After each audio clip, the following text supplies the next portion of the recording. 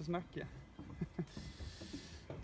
Ja, det var dags för Predator Tour 2017 i Åmål. Det, var, ja, det ska bli jättekul att köra.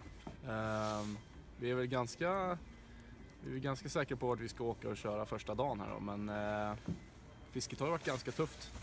Så vi får se hur det går. Men känslan är bra och vi är taggade till tusen.